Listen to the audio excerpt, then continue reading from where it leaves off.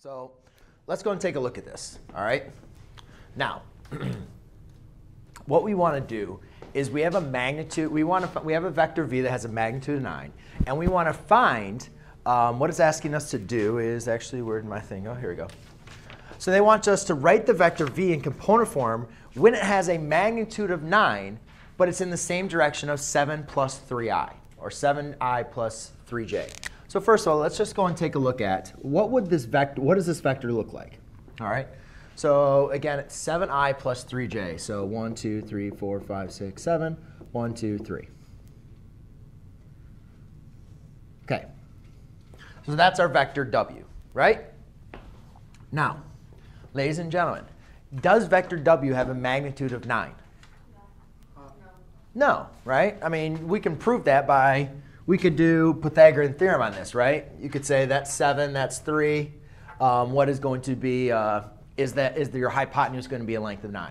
Well, hopefully you guys can already see that, you know, 49 plus 9 is going to be the square root of 58. Right? And obviously the square root of 58 is not 9, right? So this length, this magnitude does not equal 9. They want us to write a vector that has the same direction. That means it followed right on this pathway, but has a magnitude of 9. So one thing that we talked about is we can take a vector and we can write it as a unit vector. And remember, a unit vector is going to have a magnitude, magnitude of what? 1. 1. And that's very, very helpful when we can write this now as a magnitude of 1, because once we get this vector as a magnitude of 1, we still have the same direction, then all we have to do is multiply by its magnitude to now have it as a magnitude of 9. Does that kind of make sense? Well, sure. Let's see, what, what is this going to be? This is going to be like 7 point something, right? So if you just multiply this vector times 9, then you're going to have 7 times 9, which is not going to have a magnitude of 9. You have to create this to be a unit vector first. So how do we get a vector to be a unit vector? Well, we take our vector w, and remember we just take the vector and divide it by its magnitude. Now, we already figured out the magnitude um, is pretty much going to be 7 squared plus 3 squared times the square root, which is 58, right?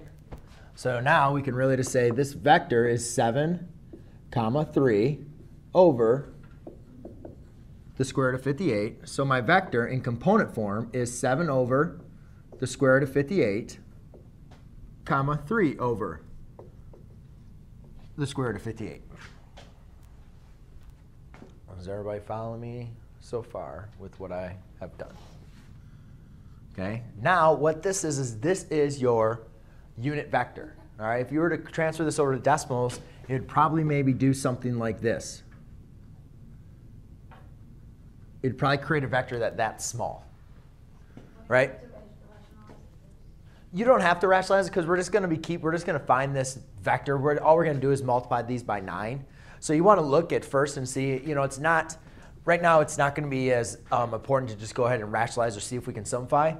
But what I want you to understand is here's our unit vector, right? It has the same direction as my larger vector, but now it has a magnitude of 1, but it's on the same direction. So now to find my vector v that has a magnitude of 9, I multiply w times 9. So therefore, my new vector v is now going to equal um, 9 times 7 over the square root of 58, comma, 9 times 3 over square root of 58, which now equals 9 times 7 is what, 63 over square root of 58, and then comma 27 over the square root of 58. That's it.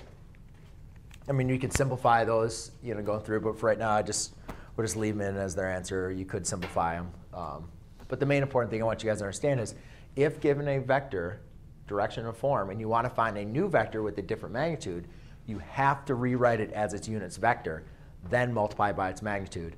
And now, this is a vector. This is your vector v that has a magnitude of 9, but that has like the same direction as W. Okay? And that's it.